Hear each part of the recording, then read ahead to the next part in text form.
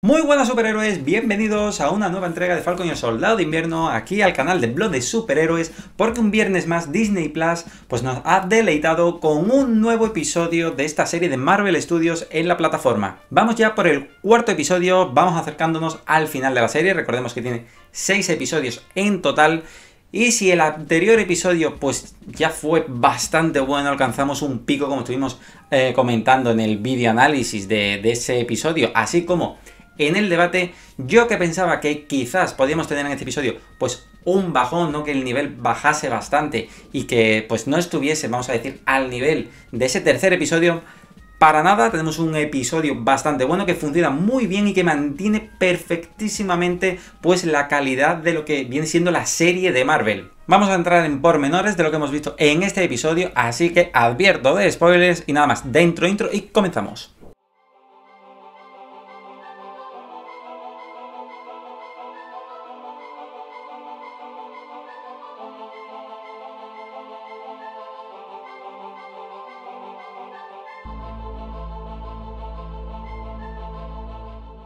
Este cuarto capítulo llega bajo el título El mundo nos observa y enlaza directamente con el final del anterior episodio. Recordemos que allí veíamos cómo Ayo iba a ver a Baki en busca prácticamente de la cabeza de Zemo. Nuevamente se pone manifiesto que estamos ante una gran película dividida en trozos, dividida en episodios.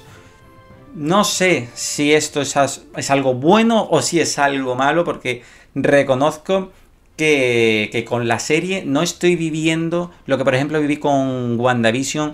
No tengo tanto nivel de emoción, no tengo tanto hype. Disfruto mucho la serie, me está gustando, se me pasan los episodios volando.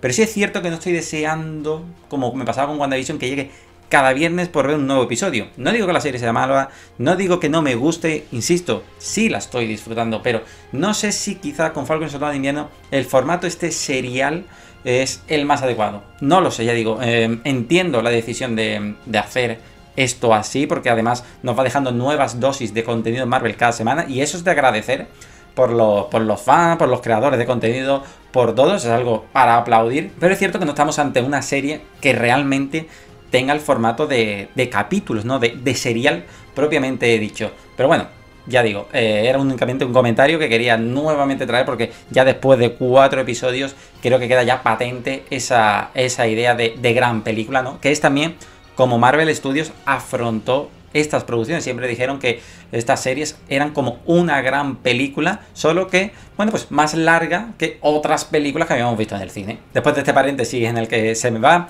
eh, regresamos al episodio y, y me ha gustado este arranque porque hemos vuelto a Wakanda, hemos vuelto a Wakanda hace unos años, concretamente 6 años antes de lo visto en este episodio, y descubrimos ese momento de transformación ese cambio que recibe Bucky en el que deja atrás pues lo que era el soldado de invierno, al menos a nivel de control mental. Ayo es la encargada de liberar a Bucky. Posiblemente esto de haber sido de otra forma, de haber sido esto en una película, posiblemente hubiésemos visto más wakandianos, wakandianas en esta escena, no únicamente a Ayo. Pero bueno, eh, me ha gustado este pequeño homenaje que se ha rendido aquí a Wakanda porque no olvidemos que Bucky, como el lobo blanco, tiene un pasado con Wakanda que no hemos terminado de explorar demasiado en el universo cinematográfico Marvel y tampoco creo yo que vayamos a ver mucho más de, él de lo visto en este episodio. Un bonito momento que sin duda eh, pues ha llegado al corazoncito de los fans porque todos nos hemos acordado de, de Busman. En este episodio a nivel argumental diría que no se avanza tanto a nivel de trama central de, de la serie, pero sí vamos viendo, que es donde desarrolla más este capítulo, a nivel de personaje. Vamos colocando aún más dónde está situado cada uno de, de, los actores que participan en esta trama principal. En línea con lo que vimos en el episodio anterior, Sam, Bucky y Zemo van detrás de Carly, van detrás de Sin Banderas y, y Sam y Bucky pues están usando hacemos para conseguir localizar a Carly, que es, digamos, el principal objetivo a detener ahora mismo. Zemo intenta en todo momento aprovecharse de la información privilegiada que tiene, pues, para alargar su vida, ¿no? Sabe que una vez que deje de ser útil ya no lo van a querer, ya no lo van a proteger, y el destino que la guarda no es especialmente bueno. Sin embargo, el episodio deja claro que Zemo sigue con sus ideales de... Pues hay que acabar con todos los superhéroes. En varios momentos tenemos cómo Zemo eh, insiste en la idea de que hay que acabar con, los, con las personas que tienen el suero del supersoldado, que eso saca lo peor de todo el mundo. E incluso en el episodio vemos que cuando tiene acceso a, a las dosis del suero del supersoldado, su instinto claro es destruirlo todo. No quiere que haya superhéroes. Esto es algo que ya sabíamos de, de Civil War y que además nos dejaron claro durante la promoción de la serie. Y aquí lo hemos visto, se ha puesto de manifiesto que no quiere que haya superhéroes, quiere que todos seamos iguales y no quiere que haya diferencias porque sabe el mal que pueden llegar a provocar los superhéroes. Me ha gustado mucho que esto se vuelva a poner de manifiesto, que esto salga, que, aparezca de nuevo ese ideal que está ahí de Zemo, porque em, me gusta mucho el desarrollo que le están dando a estamos viendo que es alguien en el que no te puedes fiar, de hecho el episodio pone de manifiesto el, que Zemo te la va a jugar en un momento u otro, y de hecho acaba huyendo al final del episodio. Pero es cierto que seguimos sin ver ese Zemo con la máscara, ese Zemo de los cómics, que también entiendo que de momento no lo podamos ver. Todavía tenemos dos episodios pendientes, quizás ahí sí vemos algo de eso. Creo que queda recorrido para Zemo, pero incluso yo le estoy viendo más fuera de la serie que en la propia serie. Es decir, no termino de, ver a Zemo formando parte de lo que queda de serie que creo que va a tirar por, por otros derroteros como ahora comentaremos y veo más el futuro de Zemo en quizás pues otra futura serie, pues otra futura película o algo por el estilo más que en Falcon y el Soldado de Invierno. Espero que en ese futuro se explore mucho más pues eh, el Zemo con máscara, ese Zemo más violento que vimos en el episodio anterior y que aquí eh, queda más dejado de lado para mostrarlo más como esa, mente criminal, ese genio que, empieza a mover hilos, que empieza a hacer sus jugadas a la espalda de los demás con tal de conseguir que a todos se le dé la vuelta e, engañarte si puede, ¿no? Los sin banderas vuelven a ganar un poco de protagonismo en, este episodio. En el anterior ya dije que los vi un desarrollo mucho más, más básico. Aquí se vuelve a colocar el foco sobre ellos para básicamente eh, destacar qué es lo que ellos persiguen. Se vuelve a poner eh, de manifiesto la importancia que tiene Carly como líder, como es la persona que ha estado cerca pues de, de todas esas personas que han estado desplazadas, a las que se les han prometido ayuda y al final no se la han dado. Y Carly se sitúa como la única persona que parece que le está prestando atención y que por lo menos está luchando por sus intereses. De hecho, tenemos esa conversación con uno de los sin banderas donde la, coloca como la heroína que hace falta en los tiempos modernos, en los tiempos de hoy día, donde necesitas que sea alguien que se manche las manos si es necesario. Y, y no, ya no son tiempos del Capitán América tradicional, ahora son otros tiempos y por tanto hacen falta otros héroes y otras heroínas para esas personas que necesitan pues atención, que necesitan ser ayudadas. En ese desarrollo de, los personajes se ha intentado potenciar aún más cómo los sin banderas, en concreto Carly, pues es buena y han introducido ese pequeño elemento que, que, no sé si va en esa línea, pero yo lo empiezo a interpretar así, de cómo se juega también con los medios y se habla de esa ley correctiva donde se, aboga por, lanzar una ley que potencie, que acelere el curso de acción de que la, vuelta a la normalidad sea más rápida. Y esto hace también que enfade más a, Carly porque sabe que realmente eh, eso, por un lado, está ayudando más a los que a los que vinieron después del lapso y está provocando que las personas que estaban antes eh, que no desaparecieron con el, con el chasquido de dedos, pues quede aún más desplazado, sabe las consecuencias que tiene determinadas acciones. Lo que pasa, que es lo curioso y es a donde eh, apela Sam, que las acciones que tiene Carly también impactan, también afectan a otras personas. Se juega ahí con esa, con esa doble perspectiva, ¿no? De cómo cada uno ve las cosas de, pues desde su punto de vista sin darse cuenta que, que también hay otros puntos de vista, otras personas que se ven afectadas directamente o indirectamente por tus acciones. No obstante, aquí se empieza a poner de manifiesto pues las consecuencias del, suelo del super soldado, que esto es algo que ya se contaba en el en Capitán América, el primer Vengador, cuando cuentan pues las consecuencias, los efectos secundarios que tiene el suero y decían que, que, potenciaba o lo mejor que tenía cada uno o lo peor que tuviese cada uno. En el caso de, Steve Rogers, pues potenciaba que fuese aún más bueno y en el caso de Cráneo Rojo, pues lo convertía aún peor. Aquí este tema vuelve a ser central, se pone manifiesto con Carly y, y además lo vemos también con el caso de John Walker. Antes de meternos con ese tema, me ha gustado cómo Zemo pues se ha, se ha sincerado y ha reconocido cómo Steve Rogers era el Capitán América y cómo no hay nadie más como el Capitán América. En esa batalla en la que Zemo defiende que, que no debe haber personas con el suelo de super soldado, que hay que acabar con ellas, eh, y porque eso al final corrompe, cuando le recriminan que Steve nunca se corrompió, Zemo sale diciendo que, bueno, pues que como Steve no ha habido nadie más, ¿no? Que es alguien único. Y nuevamente se pone aquí de manifiesto lo que es el legado del Capitán América y cómo va a ser difícil sustituir a Steve Rogers y colocar a una persona eh, con el manto del Capitán América. Esto incluso me está eh, levantando de nuevo las dudas de si vamos a llegar a tener un nuevo Capitán América al final de la serie, que este es un tema pues que con el que especulamos, teorizamos los fans, ¿no? Si va a ser Bucky, si va a ser Sam.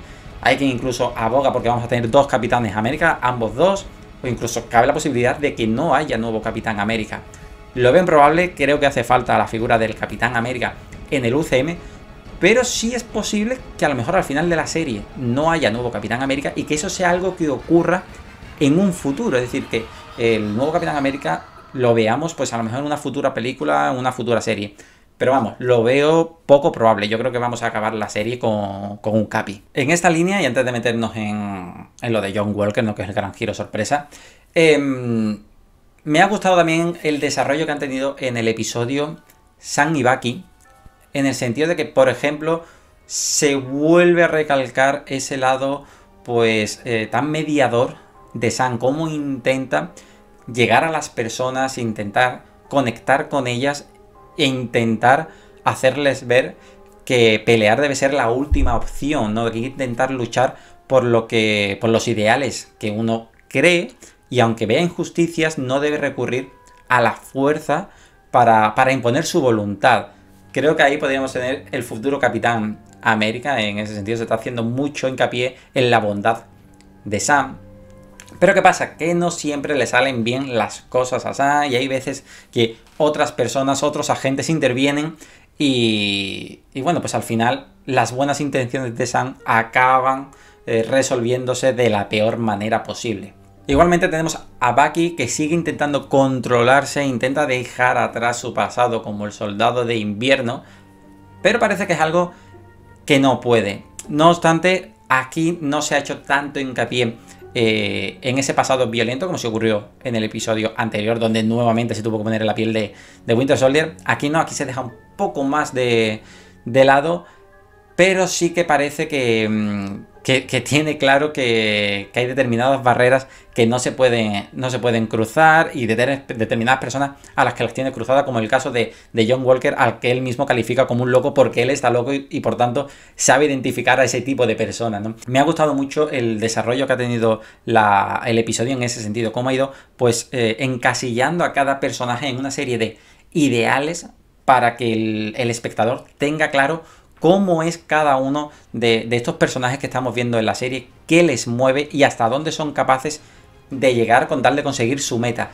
Están muy bien diferenciados y, eso ayuda también a que, el espectador tenga una trama, un desarrollo, en definitiva, simple, sencillo, ¿no? Y ayuda pues a que disfrutes mejor la, la serie. Que hay que decir también por el camino que ese nivel de conspiración, de oscuridad, nivel de trama que yo pensaba que podía llegar a tener la serie mucho antes de empezar a, verla, pues no ha sido para tanto y, bueno, pues ha sido una trama relativamente sencilla y simple como también pues eh, se podía llegar a, entrever ¿no? por, por todas las promos que, que íbamos viendo. Y por último, antes de meternos en lo de John Walker, está el tema de la gente de poder de Sharon Carter y de Madripoor, que tiene aquí una ligera presencia. Sharon Carter reaparece ofreciendo apoyo logístico para, para Sam. Sigue sin quedarme muy claro en qué posición está Sharon. Mm, recordemos que hay muchas teorías de fans, sobre todo, que dicen que si Sharon está como infiltrada, que si está trabajando para la gente de poder. No se sabe. Esto de momento no se ha avanzado ni se ha contado mucho más respecto a lo que vimos em, en el episodio anterior. Sabemos que Sharon pues, tiene acceso a un montón de recursos. No sabemos cómo ha conseguido amansar tantas fortunas y únicamente lo ha hecho con la, con la, con la venta de esas obras de artes. No lo sabemos si oculta algo. Y, bueno, esperemos que Sharon tenga un papel más activo en futuros episodios. De hecho, Sam aquí la intenta, la intenta como reclutar, ¿no? Que necesita a alguien en el, en el terreno, en el campo. Y ella dice, bueno, pues que le va a ofrecer únicamente apoyo con, con los satélites. Veremos a ver cómo evoluciona esto, que yo creo que va a ir más de la mano con el agente de poder. Ella alude a que el agente de poder está muy furioso con lo, con lo ocurrido y, y sabemos también que le envía ese mensaje a Carly. Entiendo que la gente de poder va a aparecer hacia el final de la serie, es obvio, quedan dos episodios. Pero sí creo que va a tener una aparición menor. Ya lo comenté en ese vídeo que, le dediqué al personaje cuando ya eh, se empezaba a entrever que íbamos a, a, tenerlo en la serie. Lo veo, lo sigo viendo como algo muy secundario, no le veo que vaya a tener especial protagonismo porque la serie ya tiene su propia trama. Pero sí creo que cuando la gente de poder mueva su ficha, mueva, mueva ficha, mueva pieza para ir detrás de Carly, que espero que ocurra ya en el siguiente episodio a raíz del mensaje que recibe en este capítulo Carly, Sharon Carter va a ir detrás también de, la gente de poder. No me extrañaría nada que, que Sharon esté intentando eh, detener de alguna manera a la gente de poder. No obstante, no me termino de, cuadrar del todo porque ya digo, me faltan piezas, me, reitero con respecto al episodio, a lo que dije del episodio anterior, me faltan todavía piezas con el desarrollo de, de Sharon Carter. Y ya por último, ya sí que sí, nos vamos a ese giro sorpresa de John, Walker, de John Walker. ¿Y por qué digo sorpresa?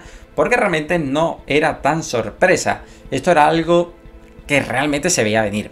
Es cierto que desde el, principio de la serie ya se nos estaba empezando a dejar caer ese lado violento que parece tener John. De hecho, en cada escena en la que aparecía había algo que siempre nos demostraba que tenía una, una vena ahí agresiva que estaba reprimiendo. Y aquí finalmente esto ya se ha desbocado. No es tan sorpresa por un lado, porque, bueno, tenemos el tema de, de los vídeos del set que ya nos habían avanzado este giro, que eso sí es spoiler, vamos a decirlo así, ¿no? Que tú ya pues decides ver o no ver esos vídeos del set, ese material que llega del set. Pero sí es cierto que es un giro que ocurre exactamente igual en los cómics, por lo menos de una manera muy, muy, muy similar.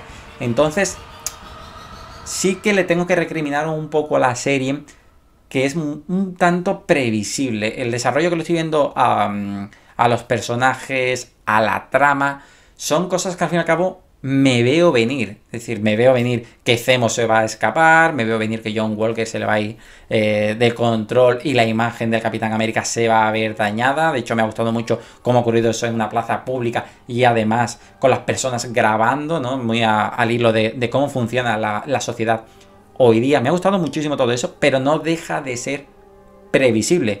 Es más, si no fuese por la manera en la que se lleva a cabo el episodio, se lleva a cabo la serie, cómo se va desarrollando, sí que le criticaría muchísimo más al episodio. Es decir, es previsible, lo veo todo, vamos a decir, sencillo, pero me gusta mucho cómo se elabora en el episodio, cómo se elabora la serie. Y por tanto, me está gustando, no se me hace pesado. Cuando algo sabes que va a ocurrir, te resulta pesado, no te gusta, no te engancha. En este caso no me ocurre. ¿Por qué? porque está bien ejecutado. Me gusta mucho el ritmo que tiene el episodio. Estamos hablando de capítulos de 50 minutos. No se te hace lento en ningún momento. Tiene un ritmo muy vertiginoso. La acción además está perfectamente realizada. Se nota ahí la mano del escritor de John, de John Wick, perdón, que estuvo también en el episodio anterior, en este episodio ha repetido.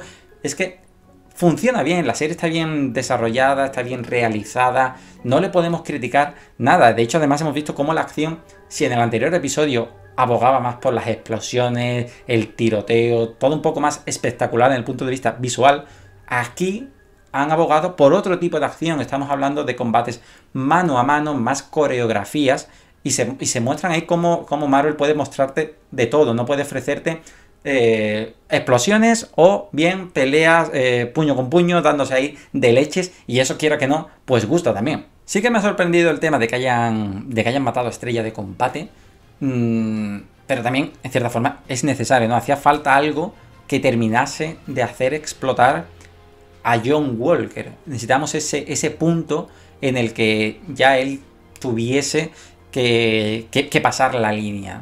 Él ya se había colocado en este episodio, pues, vamos a decir, ninguneado cuando las Dora le, le, derrotan y que ellas no tienen superpoderes, sino que únicamente se reduce a habilidad de combate y él necesita algo para intentar posicionarse al mismo nivel de los villanos a los que se está enfrentando, por eso utiliza el suero del super soldado, pero hacía falta el elemento que elevase su locura a un nivel máximo. Y para eso está Estrella de Combate, que era realmente el único personaje que, con el que le hemos visto pues tener cierta pues complicidad, no necesitaba perder a alguien para, para que todo se le, fuese, se le fuese de madre. A partir de aquí vamos a tener una serie con un tono mucho más oscuro, ya lo tenemos incluso en la melodía que suena en los créditos finales.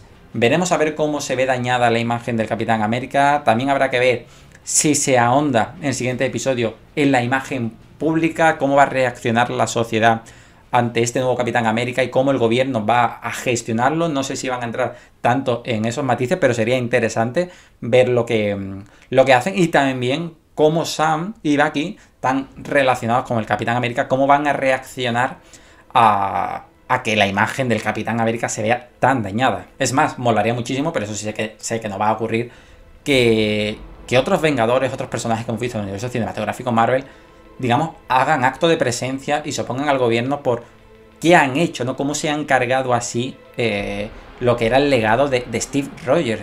¿A quién le han dado el escudo que es capaz de, provocar eso eh, de una manera pública. Ya digo, me gustaría muchísimo, pero lo veo improbable que, ocurra. En resumen, un episodio que me ha funcionado muy bien, que está al nivel del anterior.